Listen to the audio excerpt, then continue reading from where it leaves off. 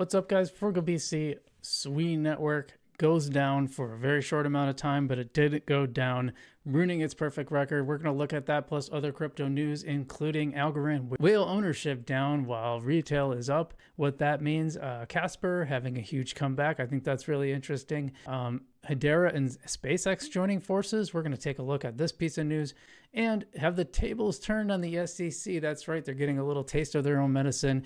We're going to dive into that news today on Frugal BC. By the way, guys, if you like this stuff, uh, please hit the like and subscribe button. Now, remember, you don't have to smash it. You can just press it gently. It works just fine that way, too. And uh, we have channel memberships. If you want these videos before anyone else, you can get them for only $1. So if you want to if you want to boost your, uh, your fanship of the show, that's a great way to do it. We're going to have other members. We're going to have uh, exclusive videos coming up, too. Uh, right now, I'm doing a couple of those for members, and we will have that at a higher tier in the near future. So, but for right now, $1, $1 a month gets you early access to all of our videos. And so keep an eye out for that. And just want to give a sh- brief shout out to Non Fungible Domains. They are our channel sponsor and we appreciate them. You can you can get a .algo address just like mine, frugalbc.algo. Find that in the description below. But let's get to today's news. First off, um, Algorand whale ship owners, I keep saying that wrong. Algorand whale ownership is down while retail is up. What does that mean for the chain? Well, I think it's pretty bullish actually. Let's take a look at this. Uh, this is from JT Media. JT was a content creator on Algorand. He's taken a back seat a little bit, but I think he's going to be coming back. JT says retail ownership of Algo has continued to grow while whale ship owner has continued to shrink. The amount of holders hodlers has exploded. There's a huge gap between New Balances and price. Algorand looks juicy. Let's take a look at this. Yeah. So yeah, we can see whales and then investors, retail. Whales going way down and retail coming way up on Algorand. I think that's really good. I think you want to see that. Retail is here. Good stuff. And he's got some other charts here. Yeah, people who've been holding more than one year. Look at that. That's really good. And then uh, total addresses, total total with balance has been really taking off. That's really cool. Of course, uh, it's happening while the price has been down, but I know we've uh, popped back up in the last last few days. So Algorand sitting over 20 cents and being up quite a bit. It's nice to see. So good on Algorand, but that's not our only news. We got plenty more coming. Uh, let's take a look at this. Uh, and that is Casper. So I think a lot of people thought that things were that Casper was kind of in trouble because once uh, their main lab left for Hedera, it seemed like a huge coup and a nice win for Hedera, which absolutely needed it at the time because sentiment was pretty pretty rough. But uh, Casper making a making a big comeback. I think this is really interesting. And this is from Nick Crypto Crusader, and he says, "Actually, crazy to see the Casper doing the unthinkable, up over 130% in the last 24 hours." Now, this is from November 17th. So this is a Sunday post, just to keep that in mind in context. But it did pump 130% in 24 hours. And he says, I watched ADA do the same thing in 2020, 2021, and I even watched Algo do a very similar thing recently. Are we about to watch Casper violently reverse? shocking those who sold into the peak negative sentiment. Maybe. Well, let's. Uh, why don't we take a look right now? Um, yeah, up on the up about seven point six percent on the day and you know came back from that little well okay this is this is the spike we're talking about. Wait is it? No 17th yeah that was this one. So we did see a giant spike on casper. It's come down a bit but you know even on the week it is still up almost 100% which is just wild just absolutely wild.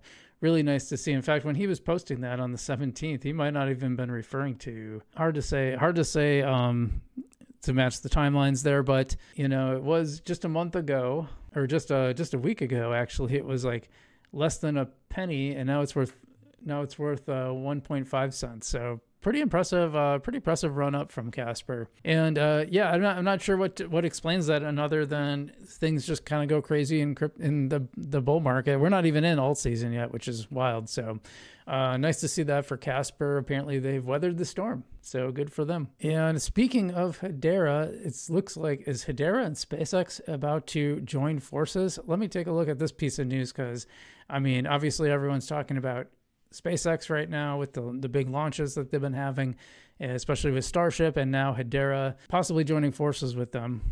Or this, this is from Sean. SpaceX is sending a satellite powered satellite powered by HBAR to space this January after NASA research paper on Hedera. Um, after after Hedera's partner in the DeRec Alliance, Cardano founder uh, Charles Hoskinson visited Elon's Elon Musk's SpaceX headquarters in Hawthorne yesterday, and it was announced on Swiss national television today that Whiskey and SpaceX are sending HBAR to space in January. That's right. HBAR going to space, a satellite powered by Hedera, will facilitate transactions of cryptocurrency in space, potentially paving the way for future satellite to satellite payment networks and might ref- might redefine transactions across Earth and space. This technology could potentially be extremely important for the colonization of Mars, but also for future industries that will live in space. And this comes after further uh, further rumors of Cardano and Hedera powering a plethora of government efficiency initiatives explored by Doge. So there is there's the big picture. Um, th- and then you know obviously someone put that together. But uh, that's a pretty bullish thing for Hedera to, to see and uh, this comes after, you know, that the, they need some transactions, I'll say, because I don't know if you guys are aware of this. We covered this before. The transactions went to like zero on, almost zero on Hedera from being quite a bit higher.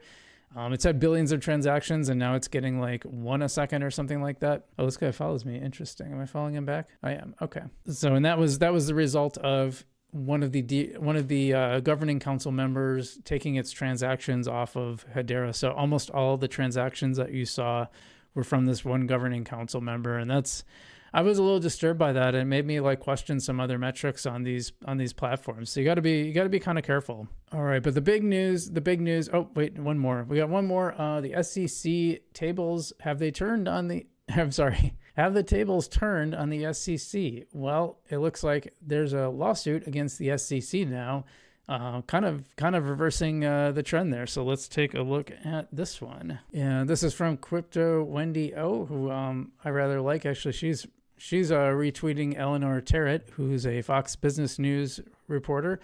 So, Scoop 18 U.S. states have filed to sue the SEC and its commissioners, accusing them of unconstitutional overreach and unfair persecution of the crypto industry under the leadership of agency chief Gary Gensler. That's right turning the tables. And these are the states, by the way. That's, that's really fascinating. In fact, we can uh, pull up who that is. It's Kentucky, Nebraska, Tennessee, West Virginia, Iowa, Texas, Mississippi, Montana, Arkansas, Ohio, Kansas, Missouri, Indiana, Utah, Louisiana, South Carolina, Oklahoma, Florida, uh, and Florida. So those are all the ones that are suing. I think way more states should be involved in that. Uh, the lawsuit signed by 18 Republican attorney generals details how the agency has committed gross government overreach with its regulations by enforcing crusade against the $3 trillion industry, resulting in an infringement upon states' rights to regulate their economies. I think that's great. I'm kind of surprised that I guess it makes sense from a state perspective. You know, United States, like we, we have this big federal government, but I think people forget that it was founded on the idea that the states have the power and so I think that's really that's a really interesting development. And um, I, it's too bad it just has to be Republicans because I think everybody could agree that there's been overreach. So it's not really about the fact that it's not about regulation. It's the fact that they've not really had regulation. It's it really is more persecution. The way they worded it is perfect. It's it's persecution because they didn't like lay out, hey, here's the rules, follow these rules. It's more like, we're not going to tell you the rules. And even when you ask what rules you've broken, we're not going to tell you. That's what happened with the uh, Wells notice against Coinbase. They just throw this stuff out there. It's it's weaponization more than it is actual governance. And so, good. I'm glad they're pushing back. Okay, but our final piece of news and our biggest is that Sui Network went down, and some people are starting to make Solana comparisons, and that's maybe not a bad comparison considering the the price action of Solana. But anyway, let's take a look at the news. Uh, it's fixed pretty quickly, I should mention. And I want to say I didn't see this initially from Sui. I saw this from other accounts, so I think it's a good sign in the ecosystem that people uh, people who are fans of the coin are not afraid to point this out. You, you never want like any everybody trying to hide the bad news and you know be shills. Uh, service announcement: The Sui network is currently experiencing an outage and not processing processing transactions. Yeah, it wasn't uh, wasn't creating blocks for a good hour or so. Uh, this is 5:21 a.m. is when they posted this today. So uh, we've identified the issue and a fix will be deployed shortly We appreciate your patience and will continue to provide updates. And that's not all, by the way. Um, so this is at 6:08. So yeah, what was that? About an hour? 5:21. Yeah, so less than an hour. Sui Network is back up and processing transactions again, thanks to the swift work from an incredible community of Sui validators. A two-hour downtime. Okay, so it was about two hours. Um, the two-hour downtime was caused by a bug in transaction scheduling logic that caused validators to crash, which has now been resolved. So it's up Here's the uh, yep. Here's the little map of it. You can see the red, and I had some other uh, some other uh, commentary tagged, but nothing. Mostly, it's just pointing to what happened, and so I think having the official Sui network um, layout here is is helpful. And so, two hour downtime, and that's I think that's better. I think Solana's had much worse downtimes, so good to see, and I hope uh, hope they can keep that together. All right. Well, thanks so much, guys, for watching. I appreciate you. If you haven't already, I'd love you to hit that like and subscribe button. Don't have to smash it. You can just press it gently. It works just fine that way, too. And uh, we do have channel memberships, so check that out in the description, as well as all our sponsors and our links. Otherwise, I'm Frugal BC. Stay safe out there, and I will see you in the future.